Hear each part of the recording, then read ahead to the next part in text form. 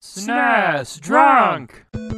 Time to review another NES game where the price of the cartridge is well over $100, and I have to end the video saying play this one any way you can, implying to play this one on an emulator or with a flash cartridge or whatever, rather than spending a ton of money that won't even go to the people that made the game in the first place. This time it's Bucky O'Hare, made by Konami, not to be confused with the arcade game by the same name. That came a few months later and is a completely different game. The NES game came out in January of 92 while the Super Nintendo was already in full swing, so this one may have been ignored a bit back in the day, but it's a great playthrough, almost like Konami's answer to Capcom's Mega Man series. It's the same kind of gameplay, the same kind of controls, and similar level layouts and settings, and if nothing else, this is a good demonstration of the difference between a game being overly derivative or simply taking influence from something. Bucky O'Hare may seem like a Mega Man clone at first, but it's definitely its own game, if that makes sense. It's based on the comic book series, and the game has you play as Bucky, selecting between four different levels to rescue four captured crew members. When you rescue a crew member, you also gain them as a playable character you can switch to when necessary.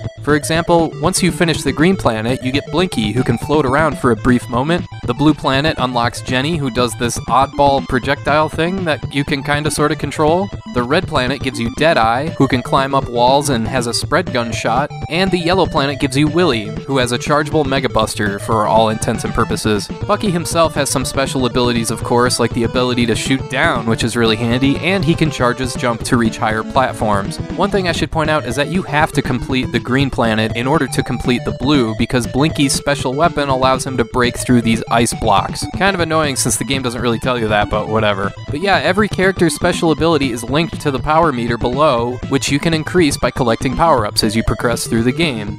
Where Bucky O'Hare shines the most is in the creative level design that makes you use all of your characters' different abilities. For example, the red planet has a section where you need to place these boulders in appropriate spots. Bucky's charge jump works for certain areas, while Blinky's works for others. Then later on, you run into these scrolling platforms where someone with a quicker shot would work better for these enemies that pop up, so ideally, you'd use Jenny here. Those are small examples, but you can tell a lot of forethought and planning went into this game.